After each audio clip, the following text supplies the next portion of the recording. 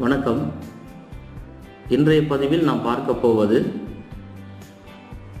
தாயத்து செய்வது எப்படி என்பதை பற்றி. இதற்கு தேவைப்படும் பொருட்கள் ஒரு தாயத்து குழல் ஒரு செப்பு தகடு மை தீண்ட பேனா.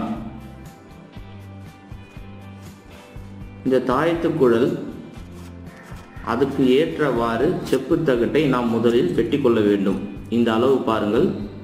இந்த அளவு பார்த்து இந்த தாயத்திற்குள் போகும் அளவிற்கு செப்பு தகட்டை நாம் வெட்டி கொள்ள வேண்டும். அதன் பிறகு இதற்கு எந்திர சாப நிவர்த்தி செய்த பிறகு எந்திரங்கள் வரைய வேண்டும். இப்பொழுது ஒரு எந்திரத்தை வரைந்து காட்டுகிறேன். பாருங்கள்.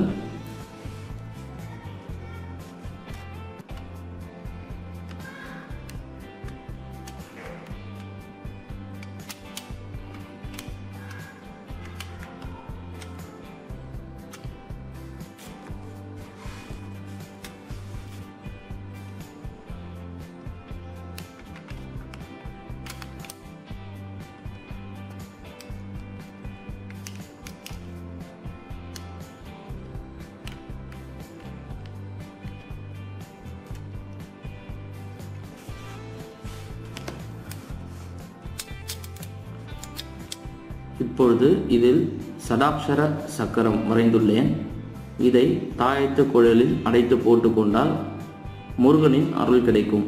இதற்கு நாம் அஷ்டகந்தம் தடவி இதற்குரிய மந்திரத்தை ஜெபம் செய்த பிறகு தாயத்தில் அடைத்து போட வேண்டும். இவ்வாறு தான் எந்திர தாயத்துகள் தயார் செய்யப்படுகின்றன. இந்த தாயத்துகள் குறைந்தபட்சம் ஐந்து வருடமாவது வேலை செய்யும். இப்பொழுது இந்த தாயத்து குழலில் தகட்டை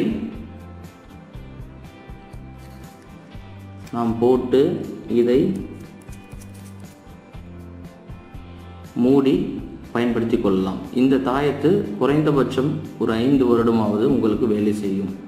இவ்வாறு தான் எந்திர தாயத்துகள் தயார் பண்ணப்படுகின்றன இவ்வாறு தான் எந்திர தாயத்துகள் தயார் செய்யப்படுகின்றன. மாணவர்களின் வேண்டுகோளுக்கிணங்க இந்த பதிவு கொடுக்கப்பட்டுள்ளது. நன்றி.